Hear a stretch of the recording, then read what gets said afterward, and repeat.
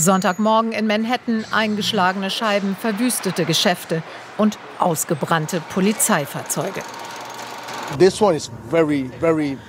Diesmal ist es persönlich. Es reicht. Ich kann der Nächste sein oder mein Freund. Es geht um unser Leben. Keine Gerechtigkeit, kein Frieden steht auf vielen Plakaten. Am Samstagnachmittag ist die Stimmung in Manhattan angespannt.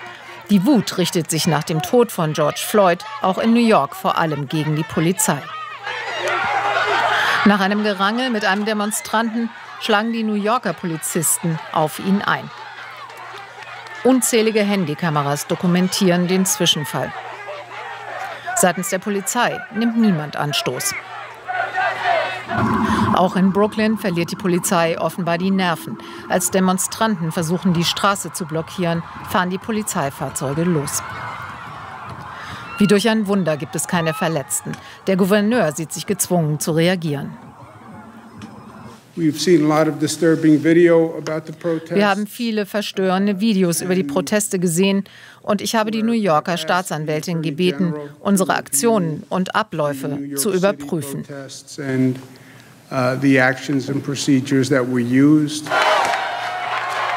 die Wut hielt die ganze Nacht über an, auf beiden Seiten.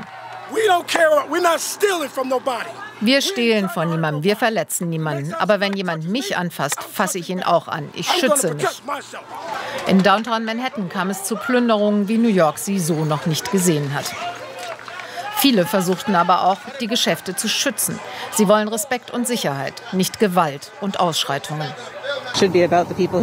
Es sollte um den Mord durch die Polizei in Minneapolis gehen und dass es keine Gerechtigkeit und Fairness gibt, nicht um die Zerstörungen. Die Scherben haben Symbolwert. Rassismus und Gewalt haben zu diesen Ausbrüchen geführt. Die Demonstranten wollen dagegen weiterkämpfen.